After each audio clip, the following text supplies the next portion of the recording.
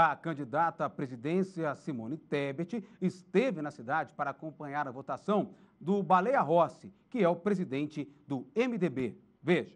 No colégio que concentra o maior número de eleitores de Ribeirão Preto, quase 9 mil, tinha fila logo cedo. Votar pela manhã é a preferência de muita gente. Para ficar mais o, o dia todo mais livre, né? Então, é melhor. De manhã para a gente depois ter o resto do dia para outras coisas. Quase 470 mil eleitores em Ribeirão estavam aptos a votar nas quatro zonas eleitorais da cidade que juntas somam 1.079 sessões. A partir dos 70 anos, o voto não é obrigatório. Mesmo assim, Dona Maria Judite fez questão de exercer a cidadania aos 89 anos de idade. Eu até não vinha porque eu já tenho idade, tenho dificuldade, mas eu falei não, esse ano eu vou porque meu candidato precisa do meu voto.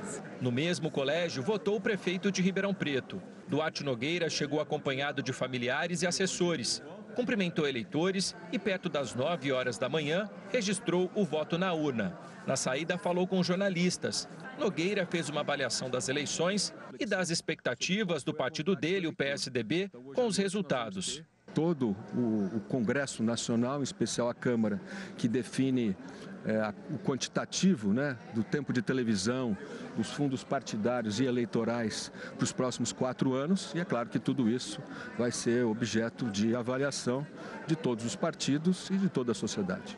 No início da tarde, a candidata à presidência da República pelo MDB esteve em Ribeirão. No campus da Universidade de São Paulo, Simone Tebet acompanhou o voto de Baleia Rossi, deputado federal e presidente do MDB. A vinda da presidenciável à cidade aconteceu depois dela votar pela manhã em Campo Grande, no Mato Grosso do Sul. Ainda sem saber o resultado das eleições, a candidata evitou falar sobre apoio aos candidatos num eventual segundo turno sem a presença dela, ou se aceitaria fazer parte de um futuro governo do PT. Vamos esperar fechar, o fechar as urnas, apurar os resultados e aí sim nós vamos, vamos falar agora aqui num momento tão complexo de uma condicion, né, de, um, de um período na, no condicional. Vamos aguardar o resultado das urnas e obviamente que a gente vai se pronunciar no tempo certo. De Ribeirão Preto, Simone Tebet seguiu para São Paulo, onde acompanhou a apuração.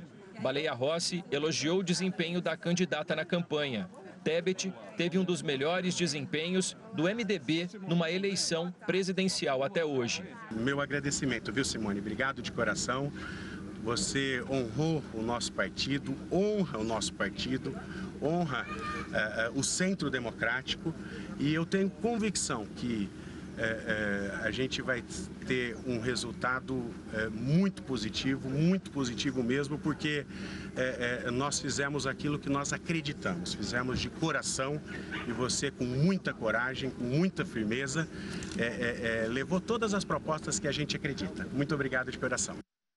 Olha, e depois né, do fechamento das urnas, a senadora Simone Tebet, candidata à presidência da República, confirmou que ela deve se posicionar, deve escolher um dos lados, né? Tanto pode ser o Jair Bolsonaro, como pode ser também o Luiz Inácio Lula da Silva, e que antes ela ia esperar, né, não só a definição do presidente do MDB, o Baleia Rossi, como também de todos que compõem aí essa coligação, e depois ela deve anunciar em breve. Ela disse que não vai se omitir, que deve se posicionar e escolher um dos lados. Ela que foi a terceira colocada na corrida presidencial.